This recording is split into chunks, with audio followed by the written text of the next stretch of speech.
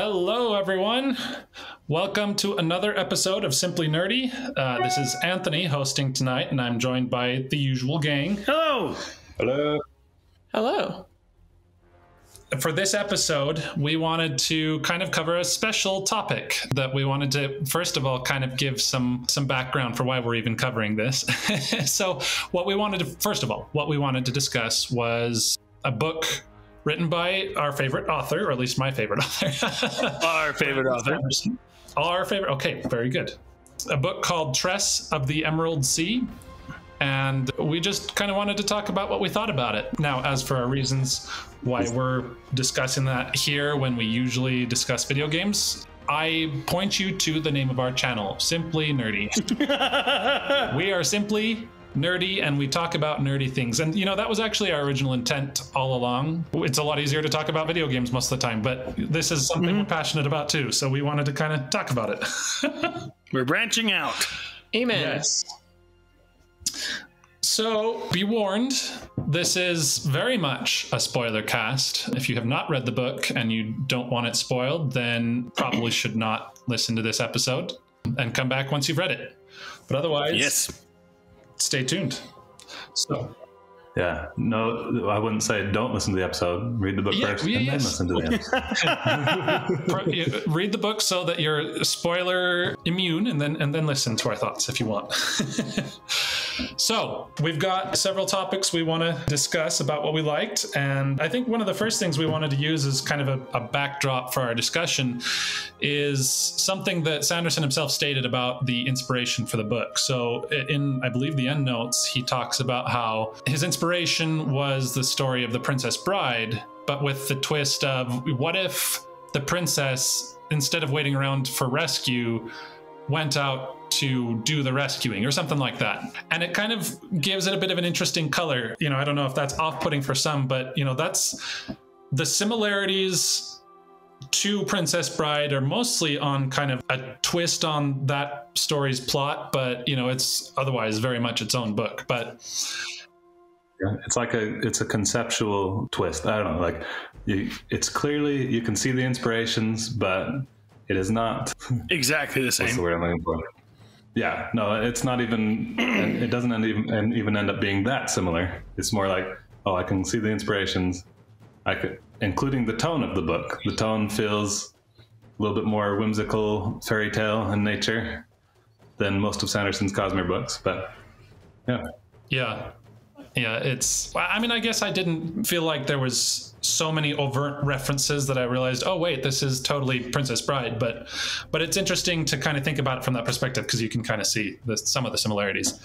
But Yeah, once you said that, you were like, oh, yeah, at first I was a little surprised. I was like, wait, what? And then I was like, oh, oh, okay. Yeah.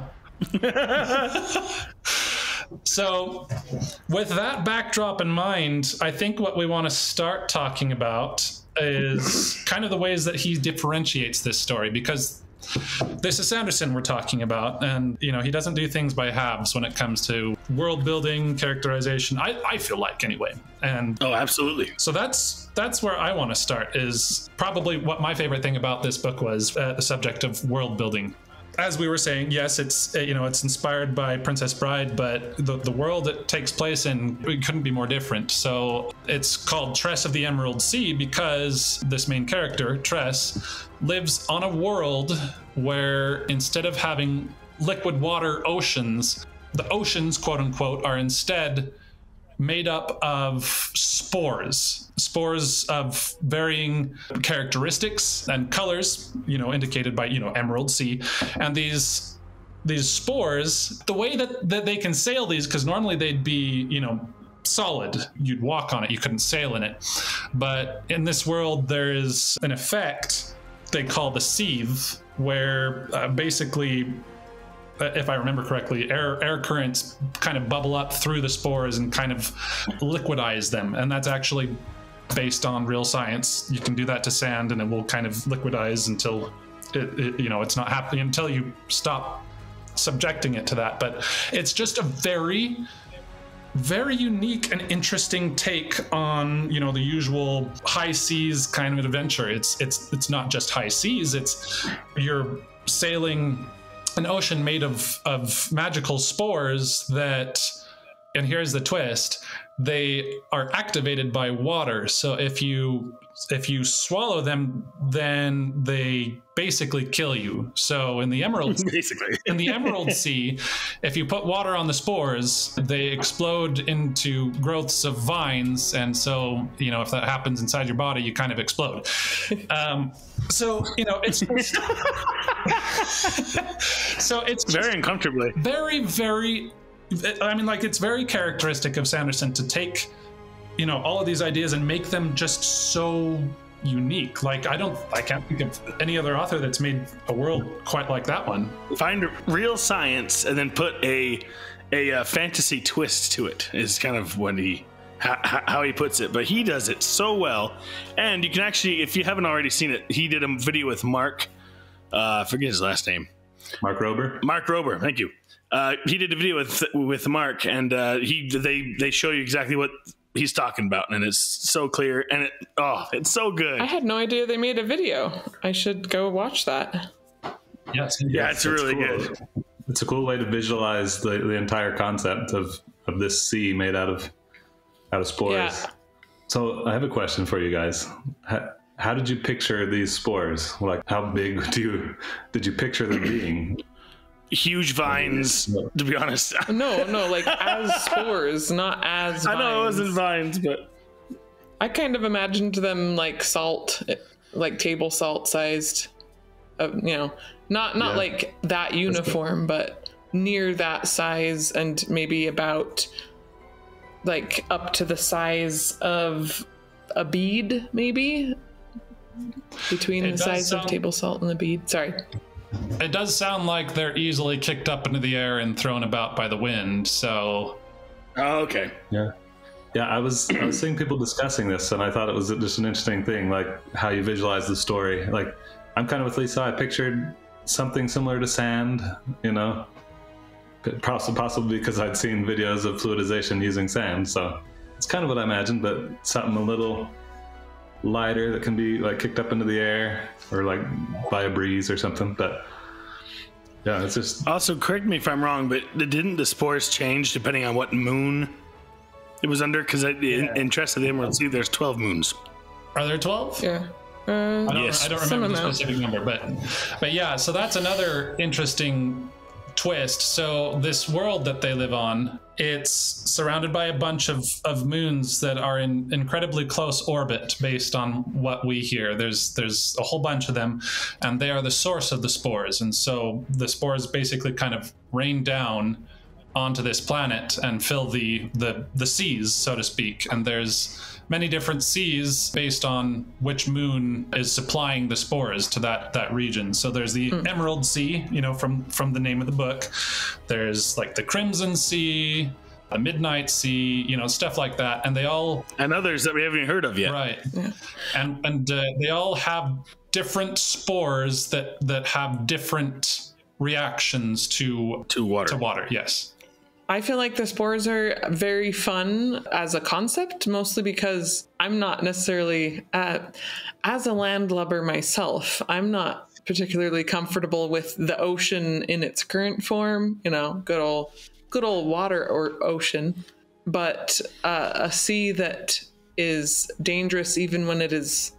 You know, just like imagine being scared of a cup of water on your desk. Like that's it's kind of a it's kind of a fun twist there. And so yeah i th- i found it fun. And also i will say something i think supports my view of the size of the spores is that they are easily inhaled and easily gotten in your eye without you really noticing you know? Oh, these are tiny. so um i think if they were gigantic you would You'd know if it was in your eye. You'd be a little more aware. Yeah. Um anyway. Yeah, yeah, they're definitely small. They're they're smaller, right? But somebody was somebody was pointing out how like when you on Earth, spores are like microscopic. So oh yeah oh yeah that's a good point So moving on, then you know uh, we've established this world has some pretty fantastic world building. So then moving on to kind of the characterization, and I think I want to kind of start by focusing on Tress in particular. For me, I remember starting the book and kind of thinking that you know I don't know. She didn't feel like a normal Sanderson character. She just kind of felt uh, a little milk toast at first to me, and uh, and maybe that was by design. I, I don't know. It's it was just interesting how she started off, but then like really kind of grew into her own as she went on this this adventure. Now, the adventure being, uh, you know, she has this love of hers. So you know, here's where some of the similarities to Princess Bride really starts coming out. And uh, he basically ends up being taken away to, to be married off, and then disappears. And she learns that uh, he has been given uh, as a prisoner or something uh, to uh, the sorceress who lives in the the midnight sea. To to the big bad, basically. yeah, the big bad. So she decides to go on this adventure, even though she's just kind of a just a country girl who washes windows. She goes on this adventure to save this man that she loves. The way that she develops, it, it, she becomes basically an entirely different person from where she started off. And I think the things the thing that I loved about that so much is that it kind of felt like I don't know, like a, a, commentary on on the ways that we as people in general can grow. Yeah, I'm gonna I'm gonna say that I can agree where you're coming from, but I actually experienced it differently in that I really loved the way that she wasn't characterized as anything extraordinary. Agreed. Because I, I, feel like, like in, in, books and in stories a lot. Thanks, Steve. Sorry. No, I really do. Uh, in in books and in stories a lot we go for the sensational because that's that's what's tends to be interesting to read about and it gets almost trite and so i really liked that she was just like she she appeared as some random bland girl. Um, and she saw herself that way too. Mm-hmm. um, she says it multiple but times. i feel like yeah i think as the book went along it, it actually showed how that she she was extraordinary the whole time. And it was that it was her own views about herself and her relationships with others that that were incorrect. Because you know just like from the start she has this huge task that she has to undertake and she somehow manages it just because of all the people who love her and care about her that she has managed to you know, I don't know. They no, her they all they all trust her and care about her enough to to try and do this really hard thing, and that's kind of like that happens at the end as well. Like it happens throughout the entire book that she's like she just sees herself as this random, boring, bland girl that doesn't that isn't up to much, but she like through her, her through her care for others and and her actually extraordinary traits, she she brings together all the people in the book to accomplish great things and and I just think it's really fun. Yeah, no. I loved it. I think that's actually sorry.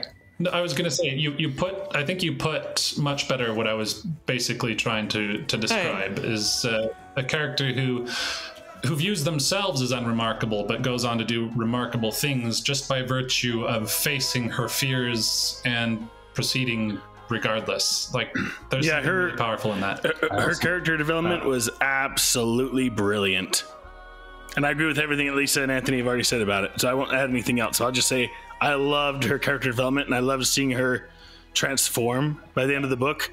It was absolutely brilliant. I, what I want to say though is that the growth is like the character growth is really great, but the seeds of who she could become were there all along. Like yeah, I love that too. Like he does a good job of showing how like she has she's had these traits from the beginning and these traits are the reason she is able to succeed in, in spectacular ways and, and she uh, didn't know that she had it know, in her it, but she did yeah and that goes with how her relationships with others and with her like determination and and her what's the word i'm looking for like inquisitive mind, I guess, like wanting to just understand how things work. It also benefits her greatly. Anyway, it's a great character. And I, I think it is by design that like she comes off as very unremarkable at first. I w- I wouldn't say she's boring. She never seemed boring to me, but compared to what you usually get in, fan- in fantasy stories, yeah, like Lisa said, like she seems pretty normal compared to most fantasy characters. So, but that makes her journey a lot more interesting in the end and I think going along with that, what made it powerful for me is just realizing that, or at least I felt like one of the messages I was getting from it is this is true of everyone. You know, everyone has the capability when they exercise confidence and, and try to, you know, give themselves the benefit of the doubt and, you know, not doubting all their own abilities that they can, that everyone can go on to do some pretty mm-hmm. amazing things. So I, uh, that's, that was one of the things I really liked about it. I have one last point. You know, there's that saying or whatever that goes that like courage is being scared, but but managing to do it anyway kind of type of thing. Yeah. And I liked I liked that about like the spores and her is that, you know, she was like people kept being like, "Oh, she's not scared of them," but she was. But she managed to do these things that other people hadn't even thought of because she she had the drive she needed she she knew that she needed to do it and she did. Anyway i just liked that. Yeah. Yeah i think the way the way that i would summarize kind of a lot of the thoughts we talked about and i want to use this as kind of a segue into um, some of the, the, the messages i felt like you know that we've covered to some degree in the in the book. But uh, i felt like tress was kind of as a model for the growth that comes from being proactive in the face of the unknown, in the face of, you know, you don't know what to expect from the future, and that's scary, but, you know, proceeding anyway, it, it just, it was inspiring to me. And kind of going along with that, one of the things I felt like was a, a beautiful concluding message was so, you know, the, Sanderson himself said that this story was kind of an exploration of what if basically Princess Buttercup went on her own adventure to solve her problems instead of waiting for her problems to be solved, kind of thing.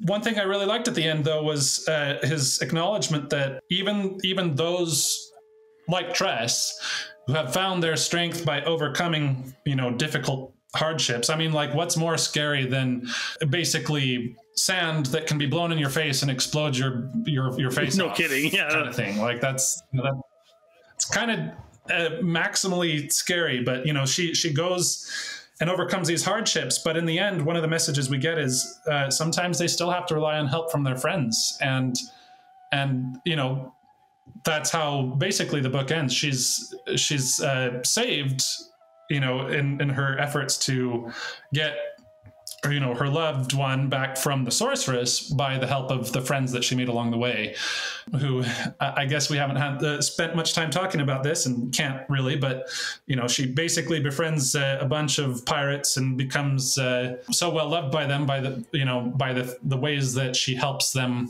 that that they help her in return. And, yeah, and I thought that that was a cool agreed. message too. That yes, we can find our own strength by having confidence in, in, in you know and just trying to do our best. But you know, we also still need help from others, and that's just something that's true yep. for all of us. I love that. Yeah, and it was basically in the face of certain death. You know. Mm-hmm.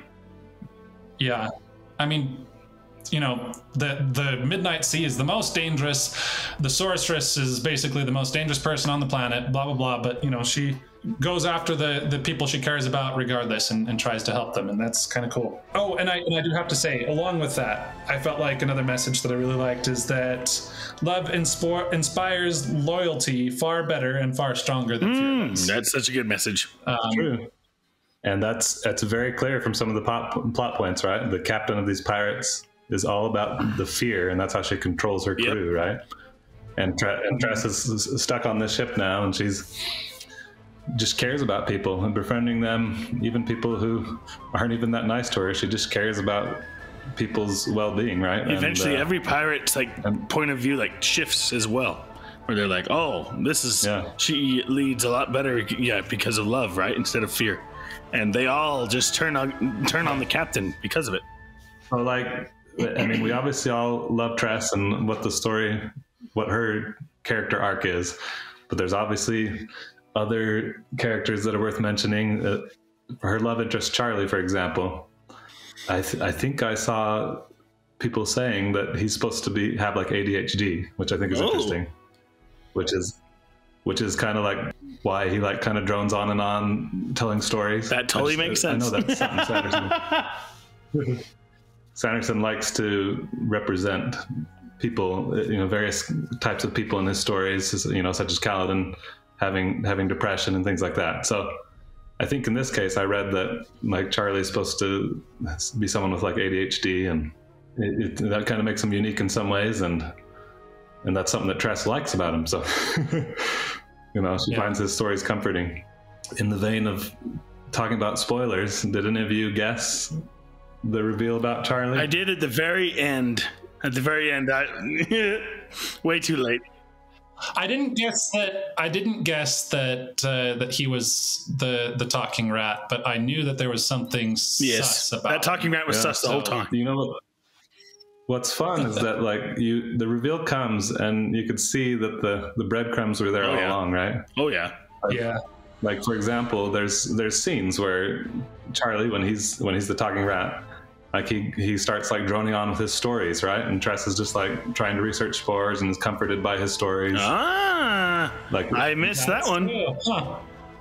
well they they worded it as like he's he was just talking about his rat life and you know and just kind of droning on about details about that and she found she found the st- stories comforting and, and what's funny is that uh, so my wife uh, listened to the story after me and she she predicted remarkably early that that Chuck the rat or Huck the rat was uh, was Charlie. And I, she's like, I have to talk to you now before I finish, so you know I was right. trying not to react, trying not to spoil anything because I knew she was right. And, but I had to I had to excuse myself for not catching it because uh, just as someone who's read a lot of Sanderson books, and and this this book, even though it's pretty different uh, style from most of the Cosmere books, it is it is in the Cosmere. And Sanderson has never written a story with people getting transformed in, into animals before, so that's my excuse for not guessing it because I just I didn't know there was a magic that could do that. Exactly. I was waiting for a magical explanation for this talking rat, and then uh, well, I guess there was one kind of, but Apparently, apparently Exactly. We just haven't seen the application. exactly. So, Hoid, yeah. So it was it was a, definitely a, a goofy representation. I absolutely him. loved Uh, you know, Hoid in this book, and I loved how he narrated the entire thing. That was probably one of my favorite things about this book. This is Hoid. Hoid is the man. Yeah. The funny thing is, is his his narrations, even as kind of uh, in the goofy state he was, it was it still felt on character to me. Oh, absolutely, Yeah. absolutely. It was, it was it was a lot of fun to like have a, an entire story told from his perspective, but he was also a character. It's just kind of Yeah, it was so unique. yeah, so unique and fun. the times when he's like, and then I looked over and said something about eating socks. Yeah, it, it's so much fun. I, so I listened to the audiobook version, but I later looked at the ebook and saw some of the illustrations, and including like the final scene where he he shows up and helps, and, and he's like dressed in some super goofy outfit in the illustration. Uh, the, yeah, it was it was pretty fantastic. you know, I, I, and I loved the part too when he's like, "I lost my sense of taste and my other five senses, and or, my other four senses," and and, uh, and then he's like, "No, not that one, the important ones." yeah. Oh my gosh, I love him so much, and I love the beginning of the book where he's talking about you know how the I forgot the, the, the guy's name, but the guy who named the island and then immediately left. He was like he was the smart one. And then when he's also like, there was one tree on the island, but it did the sensible thing years ago and died. oh my gosh, I love him. It's so good. it was really fun. The, the fun thing about having Hoid as the narrator of the story, like Sanderson said, has said that this book was actually pretty challenging for him to write because he was he had to like tell a story from from a unique point of view, right, and a unique a unique uh, narrative style, and uh, kind of be a little bit more elaborate with his prose, right. I think that he totally succeeded with that. Like some people's big complaint with Sanderson is that I think his prose isn't elab- you know fancy enough. So uh, that's intentional. Sanderson usually tries to write with transparent prose, where he he doesn't want it to get in the way of the story. But look how he's proved how versatile he can be. Uh, he- he can write- Absolutely. he can write a more elaborate prose and just totally succeed at it. And uh, it's fun that we get to through Hoid's voice, his character. And Yeah. when he said that the Cosmere gloves were coming off, they came off. Man, like holy Cosmere Palooza. It was insane, and I loved it. It was so awesome. That moment when so when he's making the comparison where he's saying that you know Huck the rat's uh, way of dealing with Tress trying to get to the sorceress by trying to sabotage her and, and telling her that basically well it's because I'm doing this for your own good. I can't you know basically I can't trust you trust you with this yourself kind of thing.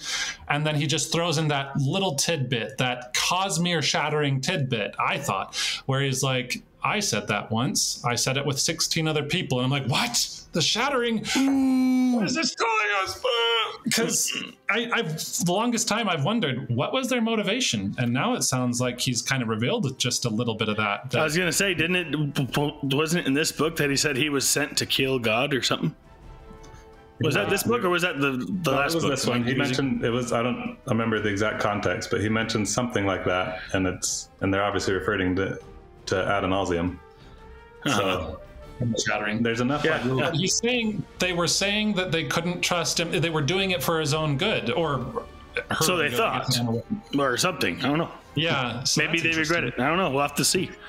Yeah, there's we get little tidbits that like make me super excited for when Sanderson eventually gets to Hoid's backstory, right? oh my gosh That's yes. we're gonna find out. Didn't he some- say it's his last book though? I guess it'll be a long time. Well, now I'm now it's starting to sound like he's bumping up the timetable on that one. oh, good. Uh, at any rate, there's a lot of really good stuff to unpack in this book, and we we can't cover it all with the time that we have, but we highly recommend reading it. I was gonna say if if you haven't read a Brandon Sanderson book before, this may be a good one to start with. Though you won't catch on to all the Cosmere references at first, but uh, you know, you've already read it because you're re- you're watching our podcast anyway. Yeah, Uh, so, You can suggest it to your friends, but they won't catch on to the Cosmere references uh, until later. But it's still like my wife has started reading it for the this is her first Brandon Sanderson book, and she's enjoying it so far. It's it's a good standalone. Like you'll miss Cosmere references, but they're not necessary to understand the story. So I actually think it's a pretty good place for beginners, to be honest. Yeah, it's it's a really good introduction into his style. You know, the the very unique world building and magic systems he always likes to create, and you know, it's just full of his uh, enjoyable little character twists and and you know, just fun moments like that. So highly worth your time. And you know, it's just even more exciting for the us those of us who have been watching the Cosmere for a while because you know, it, he's kind of like got this this whole MCU kind of thing going on. And he's finally starting to connect it, and we're just all kind of geeking out. yep. Oh, it's so good. It was a solid book. I really enjoyed it. I highly recommend it, and I think you should all give it a chance. Because Simply Nerdy gives it a 10 out of 10. We don't give out 10s, I guess, all the time, but I guess we are right now. Lately, we're giving out tens for various things, but that's just because we have a lot of a wealth of quality stuff. Yeah, we do. Absolutely. No, this book was phenomenal. Yeah, really enjoyed it. So, thank you for listening. Um, if you haven't given the book a, a, a check out, then you know I would say go go give it a look. It's really fun. And uh, for those of you who have read it, let us know what you thought in the comments. Also, just throwing this out there as well, just for two seconds. The illustrations are beautiful. Yeah, Inside the book. a good art team. So, man, like, yeah, enjoy. Good job. Good job, art team. Incredible Yeah. job. Anyway, until next time. Keep, it nerdy.